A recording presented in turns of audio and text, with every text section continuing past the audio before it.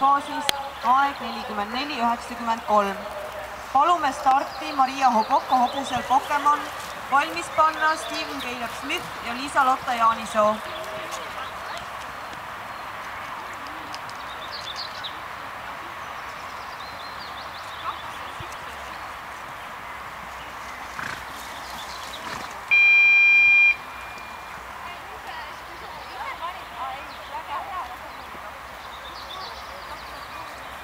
Thank you.